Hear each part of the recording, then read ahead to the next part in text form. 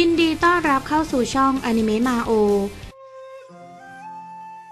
ภายในเทือกเขาเมคาครามตกอยู่ในความสงบทันใดนั้นแก่นแท้แห่งดาบที่น่าเหลือเชื่อที่เหมือนดั่งมังกรยักษ์ตัวหนึ่งที่หลับไหลมาเป็นล้านปี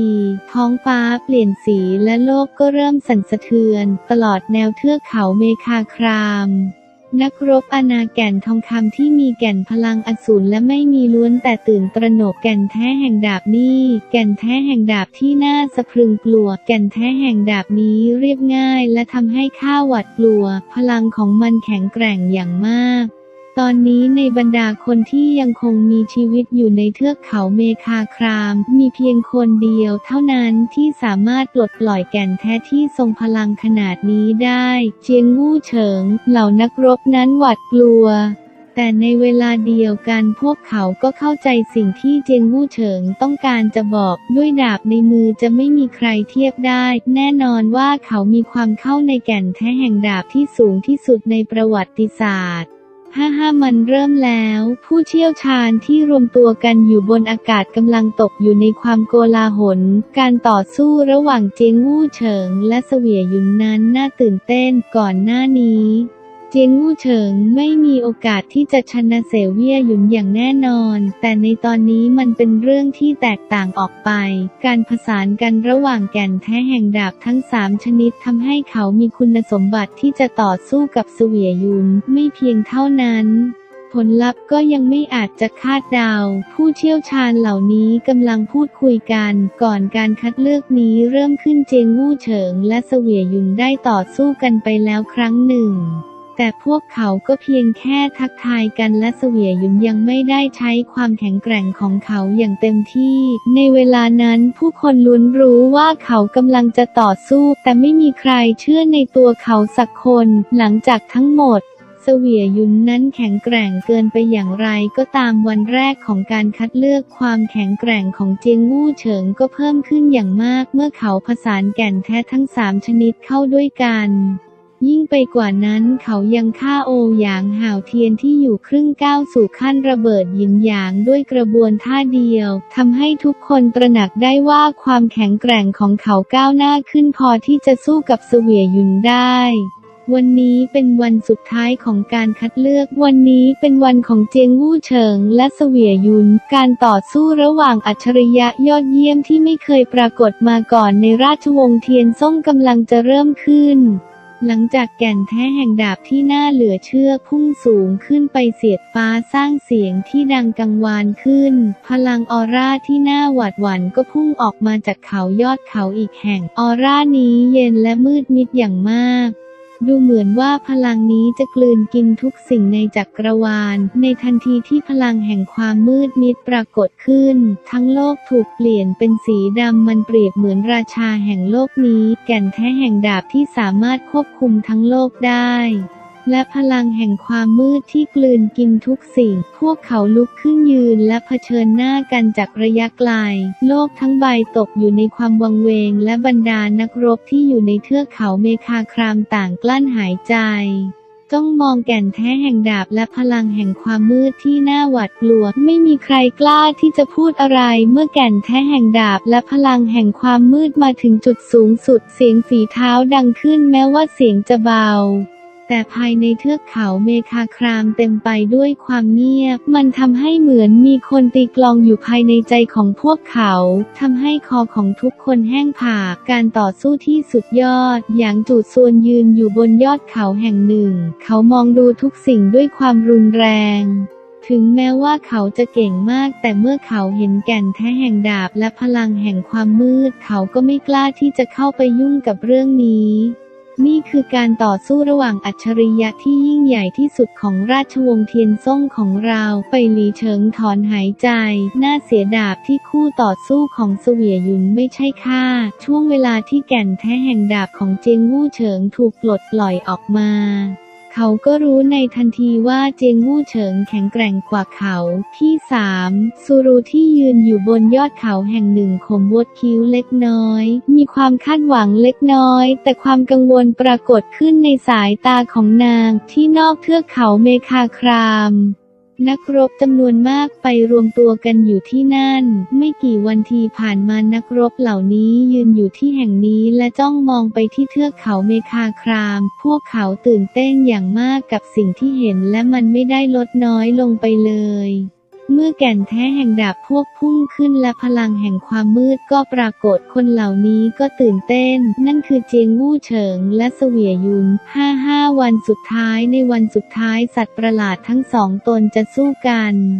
การต่อสู้ที่สุดยอดครั้งนี้คือการต่อสู้กันระหว่างอัจฉริยะที่ยอดเยี่ยมทั้งสองของราชวงศ์เทียนซ่ง การต่อสู้ครั้งนี้จะต้องถูกบันทึกลงไปในบันทึกประวัติศาสตร์ของลานนักสู้ ข้ารอการต่อสู้ที่ไม่เคยเกิดขึ้นนี้มาหลายวันแล้ว นักรบหลายคนตะโกนด้วยความตื่นเต้นและตกใจ นี่คือการต่อสู้ที่จะทำให้แท้วโลกตกใจ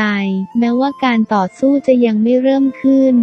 แต่แก่นแท้แห่งดาบที่พวกพุ่งและพลังแห่งความมืดมิดที่กลืนกินทุกอย่างก็เพียงพอแล้วที่จะทำให้พวกเขาบ้าคลั่งและตื่นเต้น ยังไม่รู้เอว่าใครจะเป็นคนสุดท้ายที่ได้หัวเราะหลิงเฟิงหน้าซีดเล็กน้อย และยืนจ้องไปข้างหน้า เขายังเป็นหนึ่งในนักรบอนาแก่นทองคำที่เข้าร่วมการคัดเลือกครั้งนี้ อย่างไรก็ตามเขาใช้เวลาหนึ่งวันในเทือกเขาเมคาคราม ก่อนที่จะยอมแพ้อย่างไม่ลังเลเขาเข้าใจถึงความน่ากลัวในการคัดเลือกครั้งนี้เป็นอย่างดี ตอนนี้ผู้เข้าร่วมการคัดเลือกที่แข็งแกร่งที่สุดกำลังจะต่อสู้กัน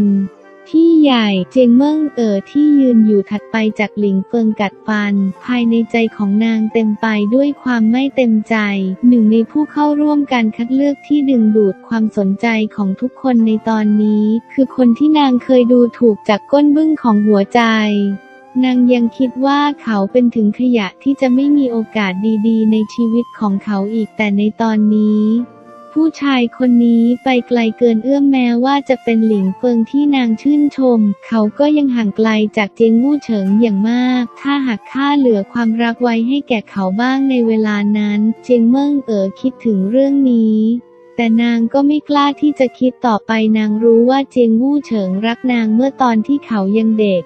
หากตอนนั้นนางไม่ทำร้ายเขาและปล่อยให้ความรู้สึกดีๆ ของพวกเขายังอยู่ บางทีตอนนี้เขาและนางอาจจะอยู่ด้วยกัน แต่ตอนนี้ทุกอย่างหายไปเสียงฝีเท้าดังขึ้นเรื่อยๆ ภายใต้สายตาของทุกคน ร่างสองร่างเดินช้าๆ จากสองทิศทางที่แตกต่างกัน หนึ่งในร่างนั้นเปรียบดังคมดาบที่ทรงพลัง ให้ความรู้สึกเหมือนแผ่นดินและสวรรค์แยกออกจากกัน อีกร่างหนึ่งเป็นดั่งตำนานที่สามารถกลืนกินทุกสิ่งอย่างในจักรวาลคนทั้งสองกลายเป็นจุดสนใจจากทุกสิ่ง มีช่องว่างระหว่างพวกเขาเพียงระยะสองลี้ ช่องว่างนั้นเป็นที่ราบกว้างใหญ่ของเทือกเขาเมคาคราม ในตอนนี้พวกเขาทั้งคู่เงยหน้าขึ้นและมองไปที่แต่ละป่าด้วยดวงตาที่เต็มไปด้วยความต้องการสู้ทันใดนั้นร่างของเจียงมู่เฉิงก็หายไป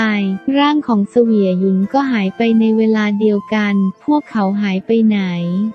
นักรบทุกคนที่เฝ้ามองการต่อสู้นั้นสบสน แต่ทันใดนั้นที่ใจกลางของที่ราบ แสงดาบที่น่าสะพรึงกลัวที่สามารถทำลายสวรรค์และโลกได้ และดาบสีแดงเลือดที่ราวกับจะกลืนกินจักรวาล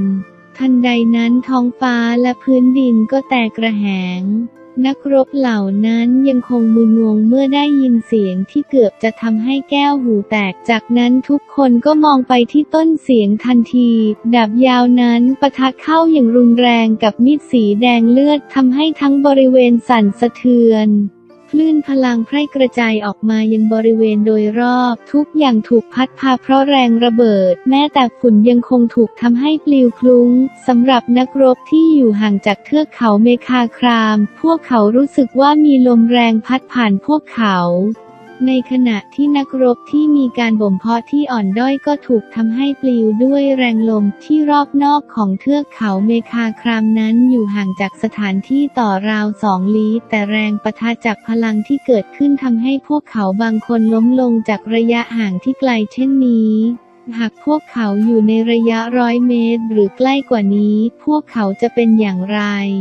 ในสถานที่ที่เกิดการต่อสู้ขึ้นเจียงวู่เฉิงนั้นดูเย็นชาและแก่นแท้แห่งดาบของเขาก็ทะยานขึ้นไป ในเวลาเดียวเพลงดาบของเขาก็ถูกปลดปล่อยออกมาอย่างเต็มที่เงาของดาบนั้นมีพลังยิ่งใหญ่จากแก่นแท้แห่งไฟ ลมและน้ำที่ผสานกันอยู่ทุกเงาดาบ ภายในเวลาไม่นานเจียงวู่เฉิงได้ฟันดาบออกไปแล้วไม่ต่ำกว่าสิบครั้ง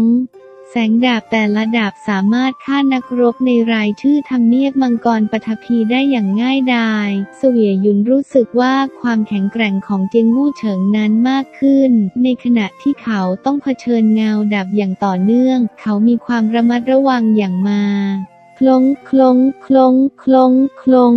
เสียงของการประทะดังขึ้นอย่างต่อเนื่อง และเสวียยุนถูกบังคับให้ถอยหลังกลับมา 10 เมตร ด้วยสายตาที่จริงจังอย่างฉับพลันเจียงของเจียงวู่เฉิง พลังของดาบสะบ้านชีพก็เพิ่มขึ้นอย่างรวดเร็ว และดาบอีกอันก็พุ่งออกมา เสวียยุนข่มบดคิ้วและร่างของเขาก็ขยับไปด้านข้างเพื่อหลบดาบในทันที แสงดาบอันยิ่งใหญ่พลาดเป้าต่อเสวียยุน และพลังยังคงปะทุต่อไปและกวาดไปยังภูเขาที่ห่างออกไป 100 เมตร แสงดาบที่รุนแรงพุ่งเข้าหาด้านข้างของภูเขา สร้างเสียงที่ดังเหมือนฟ้าร้องทันที ทันใดนนรอยดาบปรากฏออกมาจากด้านบนของภูเขาและภูเขาก็ค่อยๆ พังทลายลง ภูเขาครึ่งหนึ่งพังทลายลงมาสู่พื้นในทันทีทั่วบริเวณทั้งหมดสั่นสะเทือนผู้คนที่เห็นฉากนี้ล้วนงงงวยพวกเขาเห็นอะไร ภูเขาขนาดใหญ่ถูกตัดออกอย่างง่ายดาย ด้วยเพลงดาบกระบวนท่าเดียว กระบวนดาบผ่าภูเขาเสวียยุนที่เห็นฉากนี้และในตาของเขาก็หกลง ภายในเวลาไม่กี่วันเจ้าก้าวหน้าไปมากขนาดนี้เสวียยุนแสดงความคิดเห็นในขณะที่ยังยิ้มอยู่ ถ้าข้าไม่มีความแข็งแกร่งพอ ข้าคงเป็นคนโง่ที่มาสู้กับเจ้า เจียงงู่เฉิงกล่าวอย่างเย็นชา ฮ่าฮ่าดูเหมือนว่าเจ้าจะมั่นใจมากเช่นนั้นลองรับมีดของข้าดู เสวียยุนยิ้ม แต่ร่างของเขาก็กลายเป็นหมอกควันและพุ่งออกไปข้างหน้า ความมืดมิดที่ร่วงหล่น เสวียยุนตะโกนพร้อมกับพุ่งออกมาด้วยมีดในมือ ทันใดนั้นทั้งโลกก็ตกอยู่ในความมืดมิด ด้วยพลังของแก่นแท้แห่งดาบทั้งสามชนิด เจียงวู่เฉิงฟันดาบสะบั้นชีพออกไปใบมีดสีแดงเลือดปะทะเข้ากับดาบสะบั้นชีพพื้นดินสั่นสะเทือนอย่างรุนแรงและสุดตัวลงอย่างรวดเร็วขุ่นบริเวณโดยรอยปลิวสวาย ภายในเวลาไม่นานหลุมขนาดใหญ่ที่มีเส้นผ่าศูนย์กลางมากกว่าร้อยเมตร ก็ปรากฏขึ้นที่ที่ทั้งสองคนยืนอยู่ หลุมนี้มีความลึกมากกว่า 3 เมตร เจียงวู่เฉิงและเสวียยุนยืนอยู่ตรงกลางหลุมยักษ์ เมื่อเห็นหลุมขนาดใหญ่นี้ทุกคนที่เฝ้ามองการต่อสู้ก็แทบจะหายใจไม่ได้ เมื่อไม่นานมานี้มีการฟันภูเขาขนาดใหญ่ ตอนนี้พลังของการประทะสร้างหลุมขนาดเส้นผ่านศูนย์กลางร้อยเมตร และลึกมากกว่า 3 เมตร ความแข็งแกร่งของพวกเขาแข็งแกร่งขนาดนี้ได้ยังไง พวกเขาอยู่ในอาณาแก่นทองคำจริงหรือ นักรบหลายคนพูดคุยกันเสียงเบาการปลดปล่อยพลังที่หวาดกลัวการโจมตีที่เอดุเดือดและฉากการต่อสู้ของพวกเขานั้นเกิดจากคนทั้งสองที่อยู่ในอาณาแก่นทองคำจริงหรือ สัตว์ประหลาดพวกเขาทั้งคู่เป็นสัตว์ประหลาด แม้แต่ผู้เชี่ยวชาญขั้นระเบิดยินยางที่เฝ้าดูไอเย่บนอากาศก็อดไม่ได้ที่จะประหลาดใจเมื่อพวกเขาเห็นการต่อสู้ที่ไม่เคยเกิดขึ้นมาก่อน ในหมู่พวกเขามีเพียงไม่กี่คนเท่านั้นที่มีการบ่มเพาะอยู่ในขั้นระเบิดยาง ส่วนใหญ่อยู่เพียงขั้นระเบิดหยินและไม่กี่คนที่มาถึงระเบิดหยินขั้นสูง จากมุมมองของพวกเขาการต่อสู้ที่ไม่เคยมีมาก่อนนั้นเหนืออาณาแก่นทองคำแล้ว ไม่ใช่แค่เพียงขั้นอาณาแก่นทองคำเท่านั้น แม้แต่ในขั้นระเบิดหยินหากผู้เชี่ยวชาญสองคนที่มีการบ่มเพาะระเบิดหยินขั้นกลางต่อสู้กัน พวกเขาก็ไม่สามารถสร้างพลังทำลายล้างได้ขนาดนี้ กล่าวอีกในหนึ่งถึงแม้ว่าเจียงวู่เฉิง และเสวียหยุนจะมีการบ่มเพาะอยู่เพียงขั้นอาณาแก่นทองคำเท่านั้น แต่ความแข็งแกร่งของพวกเขานั้นเหนือกว่าผู้เชี่ยวชาญระเบิดหินขั้นกลาง พวกเขาแข็งแกร่งกว่าผู้เชี่ยวชาญส่วนมากที่มารวมตัวกันที่แห่งนี้ จุดที่ต่อสู้การต่อสู้ที่ดูเดือดยังคงดำเนินต่อไป พลังลมปราณยังคงต่อเนื่องเปล่งประกายจากดาบสะบั้นชีพ ทันใดนั้นพลังก็พุ่งออกไปพร้อมกับพลังอันแรงกล้าที่จะต่อสู้กับใบมีดสีแดงเลือก แต่ใบหน้าของเจียงวู่เฉิงเปลี่ยนไปทันที แก่นแท้นี้ เจียงวู่เฉิงสังเกตเห็นว่าแก่นแท้ของเสวียยุนนั้นมีความเข้าใจที่พิเศษมาก แก่นแท้ที่พิเศษสามารถที่จะกลืนกินแก่นแท้ดาบชนิดอื่น ๆ ได้ทั้งหมด และมันไม่ได้เป็นแก่นแท้ปกติทั่วไปอย่างลมปฐพี ไฟและน้ำ แก่นแท้แห่งดาบที่ยากจะอธิบายนี้ ดังนั้นในปัจจุบันมันถูกเรียกว่าแก่นแท้ทมินอืม มันมีความรู้สึกที่เหมือนถูกกลืนกินโดยความมืดมิดไร้ขอบเขต เจงู้เฉิงจ้องมอง ภายในสุสานดาบมีรอยดาบนับพันราวกับแม่น้ำดาบที่บรรจุแก่นแท้แตกต่างกันมากมาย ในบรรดาแก่นแท้แห่งดาบเหล่านั้น เจียงวู่เฉิงตระหนักว่ามากกว่าแก่นแท้แห่งดาบทั้งสี่ชนิด นอกจากนี้ยังแก่นแท้แห่งดาบแปลกๆที่เขาไม่เคยเห็นมาก่อน แก่นแท้ของดาบเหล่านั้นมีทั้งเอกลักษณ์และทรงพลัง ในเวลานั้นเจียงวู่เฉิงคิดว่าในโลกนี้มีเพียงลมปฐพี ไฟและน้ำ แต่ตอนนี้เขาเข้าใจแล้วว่ายังมีแก่นแท้แห่งดาบที่มีเอกลักษณ์เฉพาะตัวอยู่ ปัจจุบันเสวียหยุนได้เข้าใจแก่นแท้ที่มีเอกลักษณ์นั่นคือแก่นแท้ทมิน ไม่เพียงแต่จะสามารถกลืนกินทุกสิ่ง มันยังไร้ขอบเขตและทรงพลังอย่างมาก ยิ่งไปกว่านั้นเสวียยุนไม่เพียงแต่เข้าใจแก่นแท้ทมินเท่านั้น เขายังเข้าใจแก่นแท้แห่งลม และผสานแก่นแท้ทั้งสองชนิดเข้าด้วยกัน เขาผสานแก่นแท้แห่งลมและทมินเข้าด้วยกันด้วยระดับความเข้าใจสูงมาก ไม่น่าแปลกใจที่เขาจะแข็งแกร่งมาก เจียงวู่เฉิงรู้สึกตกใจ ในที่สุดตอนนี้เขาก็เข้าใจแล้วว่าทำไมเสวียยุนถึงหน้าหวาดกลัว โชคดีที่เขาประสบความสำเร็จและผสานแก่นแท้ทั้งสามชนิดเข้าด้วยกันในการคัดเลือกครั้งนี้ ถ้าหากไม่ใช่ด้วยความแข็งแกร่งก่อนหน้านี้ของเขา เขาจะต้องใช้ทักษะลับผลานวิญญาณเพื่อที่จะให้มีโอกาสชนะ อย่าลืมติดตามรับชมในตอนหน้านะคะ